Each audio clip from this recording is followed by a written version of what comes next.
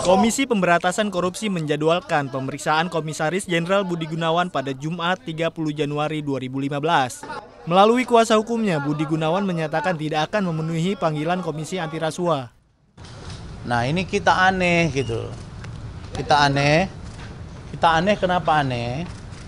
Karena Pak Budi Gunawan itu sampai hari ini, sampai dengan tadi malam, saya datang ke kediaman beliau, belum ada surat pemberitahuan resmi tertulis dari KPK yang menyatakan Pak Budi Gunawan itu sebagai tersangka gratifikasi dan atau sesuai yang dituduhkan oleh pihak KPK. Razman yang ditemui di gedung Bareskrim Polri juga menuding KPK melakukan pelanggaran etika. Jadi KPK lagi-lagi menurut kami ini melakukan pelanggar etika yang seharusnya tidak dilakukan dalam prosedur administrasi. Itu pelanggaran pertama. Pelanggaran kedua di sini. Ini idealnya harus ada yang menerima. Harus ada yang memberikan. Kan begitu?